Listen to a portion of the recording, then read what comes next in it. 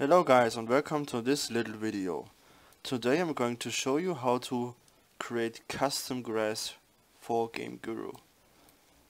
Now first of all we're going to need a plant model and so we are going to take the one from foliage folder and the dry bush. This is uh, just a very simple plant with multiple faces and it can easily be changed. So basically all my uh, foliage stuff is just this single plant entity retextured over and over again. Now let me show really quick what I mean. You see this is my custom uh, entity folder. These are all uh, edited in some way and I have about 50 bush or tree or grass entities. Now I got this one, this is an edited one for some scenes or this grass or this. You may have seen some of them in my videos. This one I use quite often. Makes for cool grass too and yeah you can basically have unlimited amount of different grass types in your level with these entities. You can just spray them around. Of course it's gonna cost uh, quite some performance but I think it's really worth it and it looks really cool at the end. And that's what we all want right? A cool looking level. So let's just spam these around a bit scale them up. Scaling is also really important.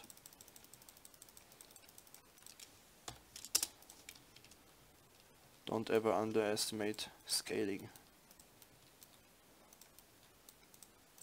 Alright, okay, and now I'm going to show you how you can do these grass types for yourself.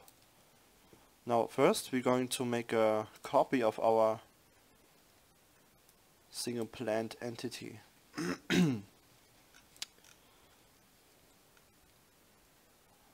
So let's go to your Game Guru directory, your foliage folder, and then you type in dry.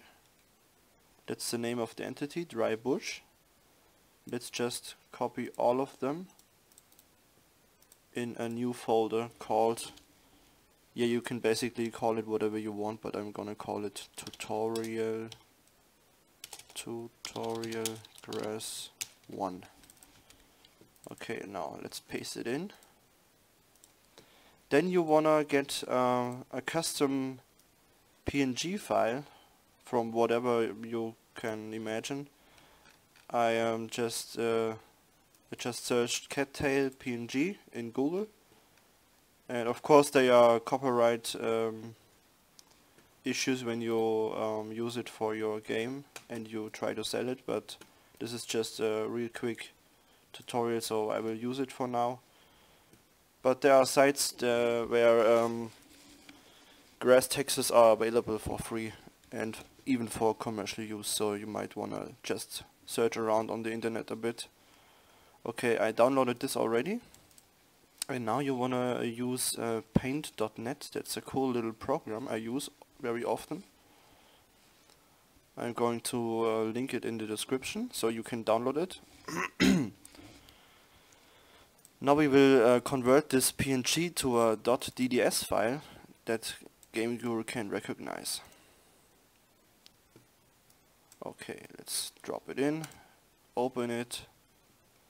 Yeah, and it has to be PNG, or otherwise you will make it transparent for yourself.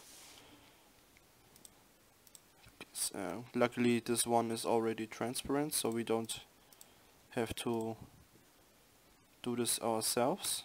Now let's just save as .dds and name it dry bush D.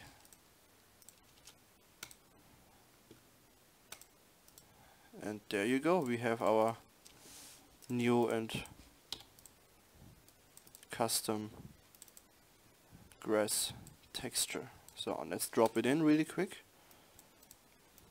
let's remove the normal ones and let's try in the editor. Yeah I didn't drop it in yet silly me. Um, Game Guru files. Yeah I created this folder already. Drop it in real quick. In your entity bank so you can find it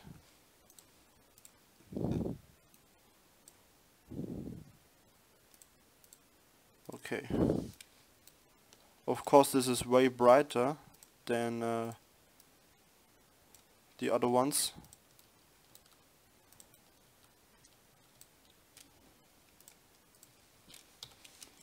Let's just drop them in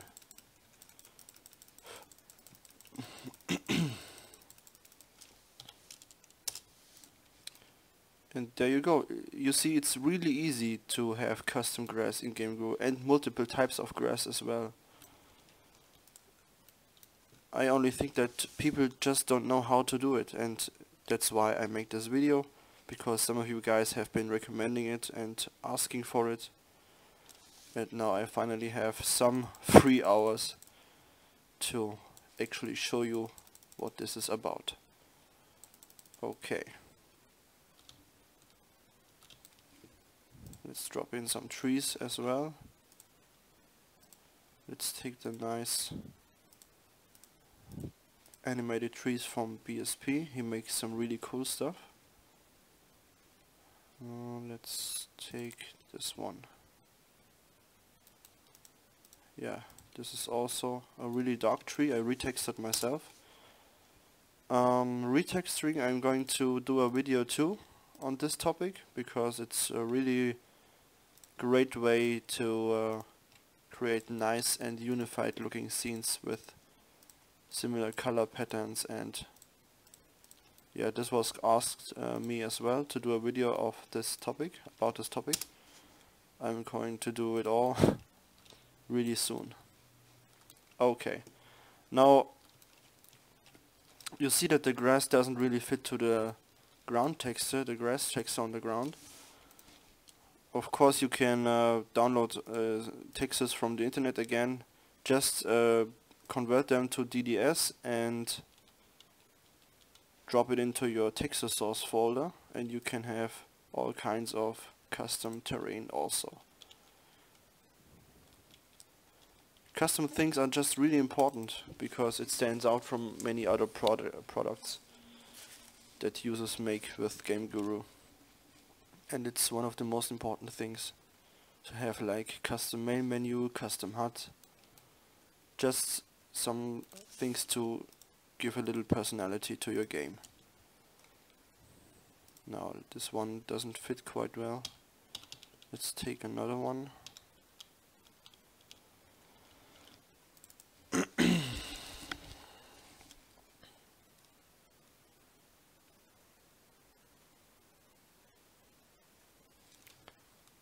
Okay. Looks a bit better, so let's just try it and see how it looks. If you didn't understand how this works, just uh, write me in the comments and I will explain it step for step. But I think it's already pretty easy and it's not really uh, that uh, much of work. Okay, let's turn up the brightness.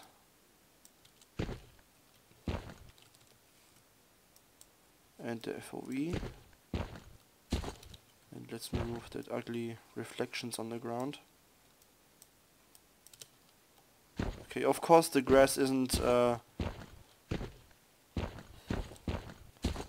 you know, um, it's not fitting together really nicely at the moment because it's different colors and brightness. But we are going to change that too. Let's just um, change the sky really quick.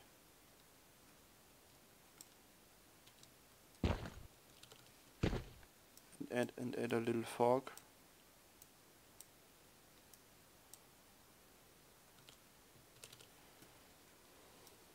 What's also really important and uh, a quite common mistake that the sky doesn't connect with your I mean the fog doesn't connect with your sky that's a mistake uh, most people make.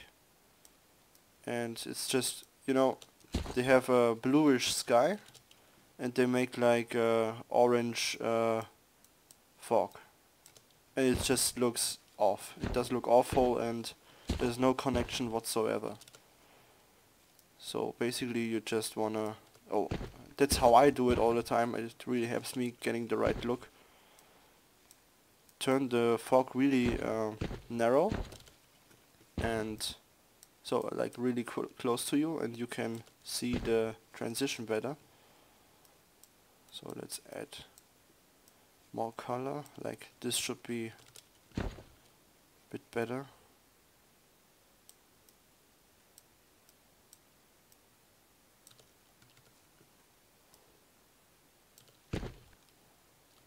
and as you can see now it just blends in way better than before.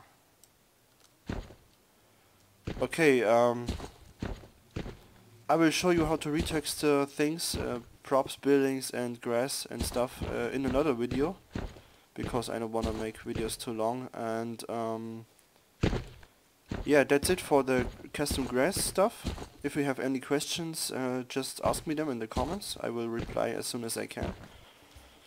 And yeah, hope you enjoyed this video and it was helpful to you and see you next time.